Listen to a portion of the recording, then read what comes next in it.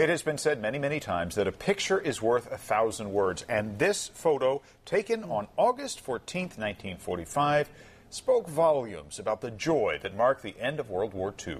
Tonight, the woman in that photo is in San Jose for a very special reason. ABC 7's David Louie is live to explain why, David. Well, Dan, there's no question that that photo, along with the flag raising at Iwo Jima, are unforgettable moments in our nation's history. The lady in that kiss photo is here tonight because she's trying to campaign to get a National Day of Remembrance for the greatest generation. Her name is Edith Shain. She was working as a nurse at a New York City hospital the day Japan surrendered. Today, at age 92, she recalls vividly how she took the subway to Times Square, where the crowds were celebrating the end of the war. And when I came there, of course, there were clumps of people who were celebrating and talking about it. And so I, you know, walked into these people to to celebrate with them. And all of a sudden, it was somebody was holding me and kissing me. They elected a wartime hero as president. They made and bought cars. They started families, creating a huge baby boom and a need to entertain them. They turned the American dream of peace and prosperity into reality. The TV show Ozzie and Harriet reflected their lives. Adventures of Ozzie and Harriet.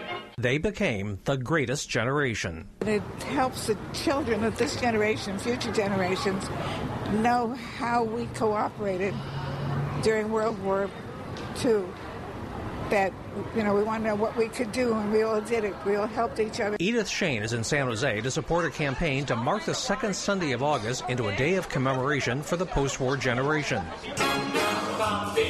She's attending a special reception ahead of a big band show called In the Mood at San Jose's Center for the Performing Arts. The organizers behind the day of commemoration say a bill is making its way through Congress. Now they're passing away at a rate of one every 90 seconds. Uh, there's a memorial in Washington, D.C., but we thought it was very important that all across the nation, on the second Sunday of every August, that we pause and remember the incredible achievements of these people. Edith Shain and the members of her generation remember the post war era as a special time.